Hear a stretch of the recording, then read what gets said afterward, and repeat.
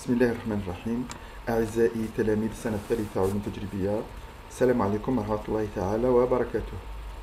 اليوم بإذن الله سأشرح في حل التمارين التي نشرتها في المجموعة.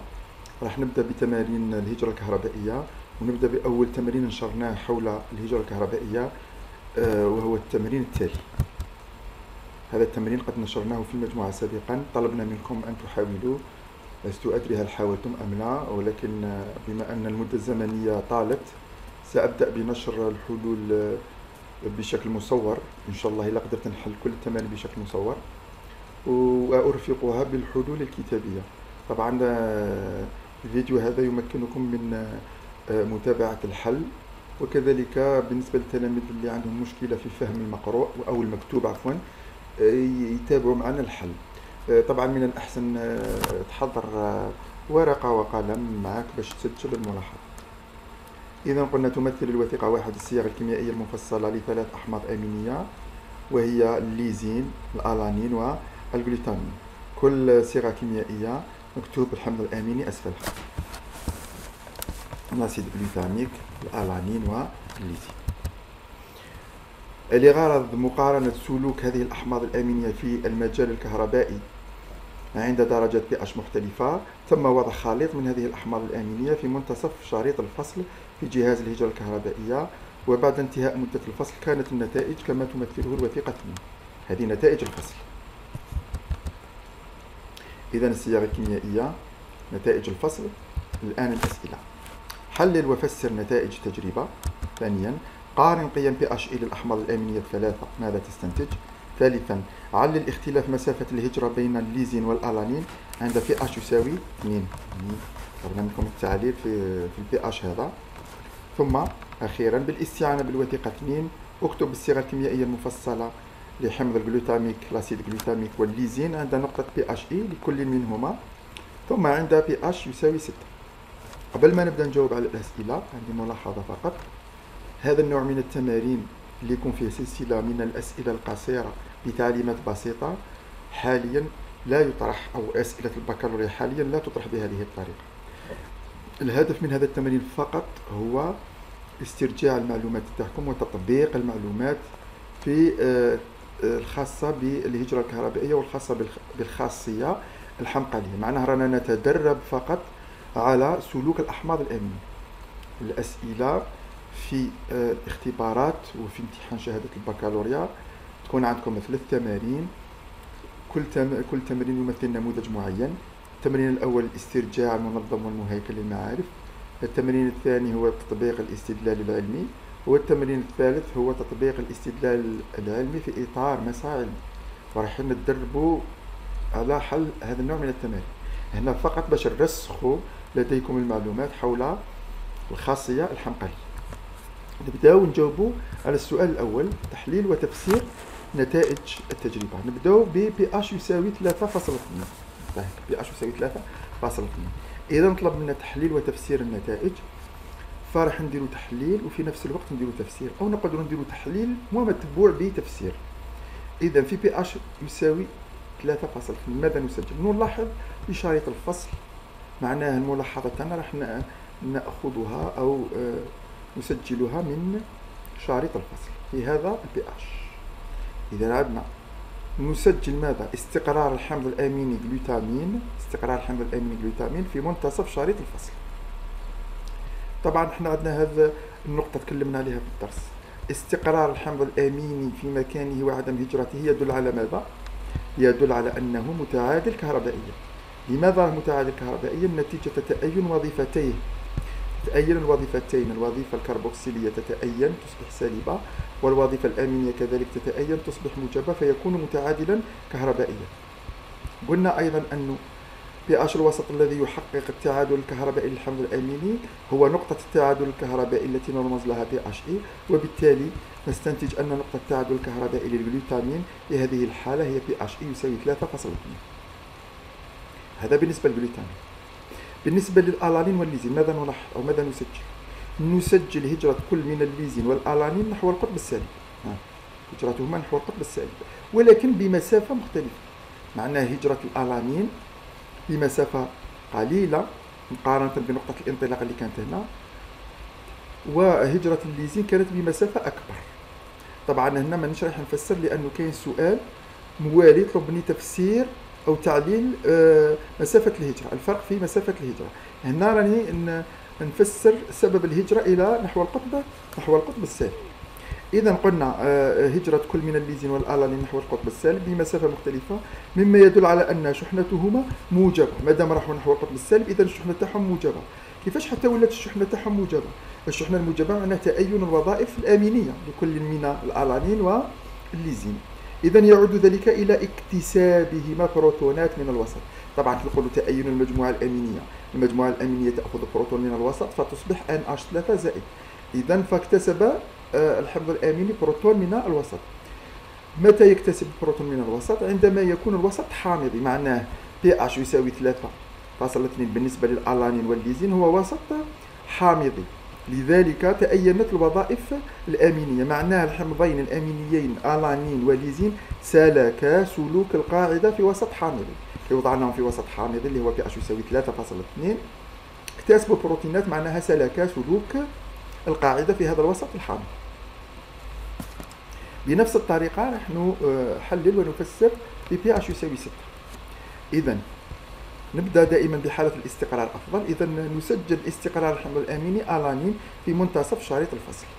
الاستقرار يدل على أن الحمض الأميني آلانين راه في حالة التعادل الكهربائي راه متعادل كهربائيا. لماذا؟ لأنه pH الوسط يساوي 6 يمثل نقطة التعادل الكهربائي بالنسبة له. بالنسبة للليزين والألانين. إذا نلاحظ هجرة الليزين نحو القطب السالب. ما دام هجر نحو القطب السالب هذا يعني أن شحنته موجبة. لماذا شحنته موجبة؟ يعود ذلك إلى اكتسابه بروتونا من الوسط.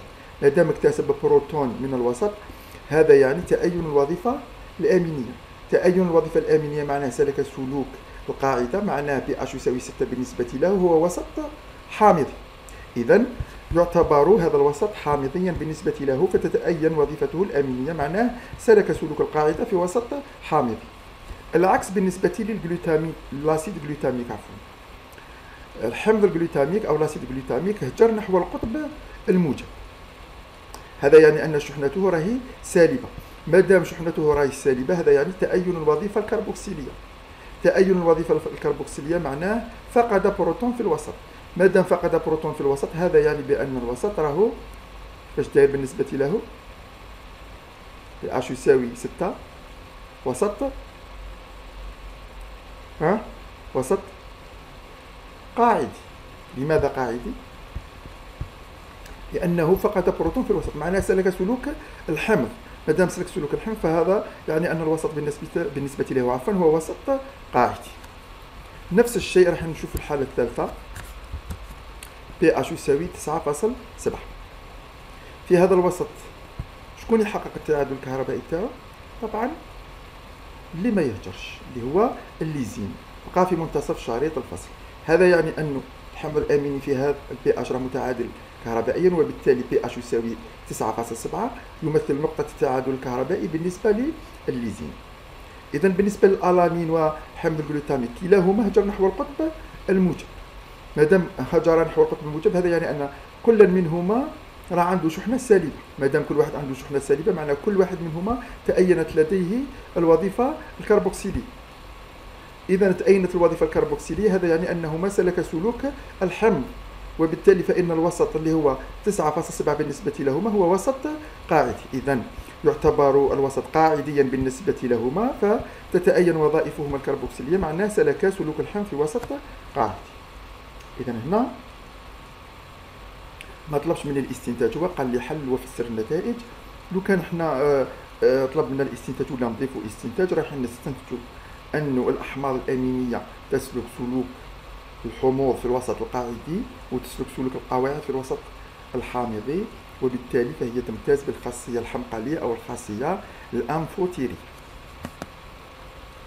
الآن نجيب على السؤال التالي قارن قيم بي اش إلى الأحماض الأمينية الثلاث أو الثلاثة ماذا تستنتج؟ هاي الصيغ الكيميائية للأحماض الأمينية الثلاثة وهذه آه نتائج الفصل. طبعا إحنا واش قلنا؟ قلنا انه نقطة التعادل الكهربائي بالنسبة للحمض الأميني هي درجة حموضة الوسط يعني بي اتش الوسط الذي يستقر فيه الحمض الأميني وبالتالي فبالتالي بالنسبة للألانين أو بالنسبة للحمض الجلوتاميك استقر عند بي اتش يساوي 3.2 هذه تمثل نقطة تعادل كهربائي كهربائي له. بي اتش إي بالنسبة للألانين يساوي 6 لأنها حققت استقراره في مشارط الفصل. و بي اتش يساوي 9.7 حقق استقرار الليزين وبالتالي تمثل نقطة التعادل الكهربائي للليزين حنا نجاوب على السؤال الآن. قارن قلنا قارن بين قيم بي اتش كي نقارنوا ماذا نلاحظ؟ هل هي متماثلة؟ طبعا ماهيش متماثلة. إذا أول حاجة نلاحظوها أنه قيم بي اتش إلى الأحماض الأمينية الثلاثة لديها مختلفة. صح. باش نستنتجوا الآن رايحين نشوفوا بالنسبة لل glutamique أو ال acide. glutamique acide glutamique ها هو ال acide glutamique كنا نصنفوا ال acide glutamique بالاعتماد على قاعدة التصنيف اللي درسناها في القسم هو وسط أو هو حمض أميني حامض علاش لاخاطش راه يملك وظيفة كربوكسيلية في الجذر. راه يملك وظيفة كربوكسيلية في الجذر. إذا بي اتش اي لحمض الجلوتاميك 3.2 منخفضة. بين قوسين هو حمض اميني حامض بي إتش إي بالنسبة للألانين. الجذر تاعو CH3 هو آه، حمض أميني متعادل. بي إتش إي تاعو متوسط يساوي 6 بالنسبة للليزين حمض أميني قاعدي عنده مجموعة NH2 في الجذر وبالتالي هو حمض أميني قاعدي فبي إتش إي تاعو مرتفعة فكي نقارنو نلاحظوا باللي الأحماض الأمينية الحامضية تكون بي اتش اي تاعها منخفضة المتعادلة تكون متوسطة والقاعدية تكون مرتفعة إذا اختلاف نلاحظ اختلاف في قيمة بي اتش إي باختلاف نوع الحمض الأميني فهي متوسطة بالنسبة للألانين اللي هو متعادل منخفضة بالنسبة لل acide glutamique اللي هو حامضي ومرتفعة بالنسبة للليزين اللي هو حمض أميني قاعدي إذا ماذا نستنتج من ذلك؟ ماذا نستنتج؟ أنه نقطة التعادل الكهربائي تتماشى ولا تتناسب مع نوع الحمض الأميني؟ كيكون الحمض الأميني حامضي. يحقق التعادل الكهربائي تاعو في وسط حامضي. يكون الحمض الأميني قاعدي يحقق التعادل الكهربائي في وسط قاعدي. كيكون الحمض الأميني متعادل يحقق التعادل الكهربائي في درجة حموضة متوسطة تقارب بالستة. أقل بقليل أو أكبر بقليل من من الستة. وبالتالي نستنتج أن نقطة التعادل الكهربائي تتناسب ولا تتماشى مع نوع الحمض الأميني. فهي حامضية ولا منخفضة بالنسبة للأحماض الأمينية الحامضية وقاعدية أو مرتفعة بالنسبة للأحماض الأمينية القاعدية الآن نعلل اختلاف مسافة الهجرة بين الألانين والليزين في بي إتش يساوي 3.2 ترانا نلاحظوا باللي مسافة هجرة الألانين نحو القطب السالب أقل من مسافة هجرة الليزين. معناها الليزين هجر بمسافة أكبر من مسافة هجرة الألانين لماذا؟ الأمر يعود إلى قوة الشحنة. هذا المصطلح تاع قوة الشحنة هو مصطلح جديد. ماذا نقصد بقوة الشحنة؟ قوة الشحنة هو عدد الإشارات.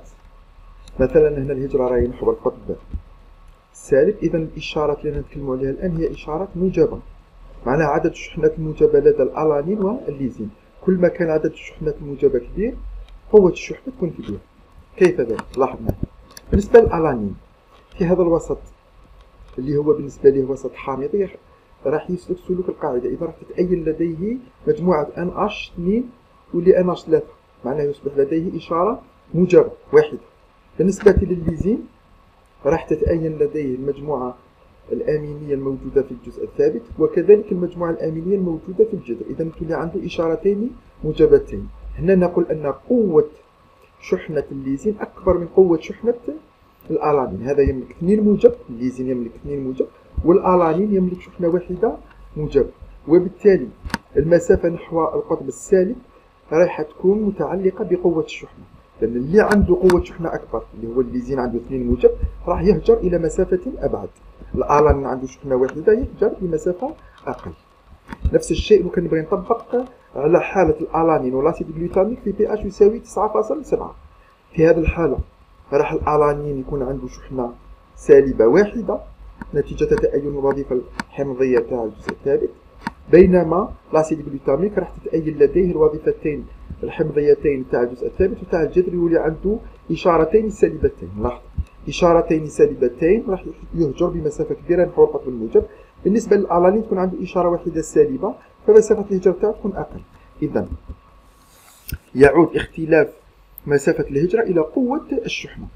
في الحالة في المثال اللي ديناه عدد الشحنات الموجبة قوة الشحنة نقصد بها عدد الشحنات الموجبة وكان ندو المثال هذا راح تولي عدد الشحنات السالبة.